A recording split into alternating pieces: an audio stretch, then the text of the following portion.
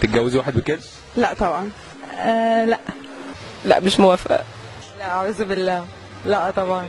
إيه يا شيخ؟ إيه يا شيخ؟ إيه بقى يا شيخ؟ يعني لو تقدم لك واحد بكرش هترفضي. آه آه.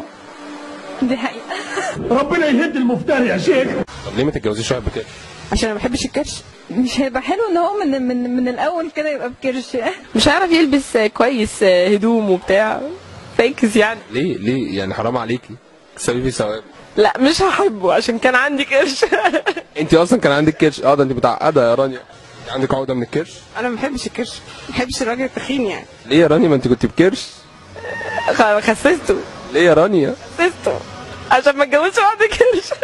طردنا إنسان كويس وابن ناس ومحترم وعنده كرش إيه اللي. إيه اللي يعيبه؟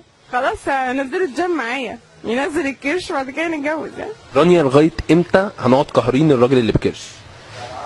وجايين عليه في المجتمع. لا لغاية ما يخس بقى ويبقى ما عندوش كرش. طب خدوني معاكم.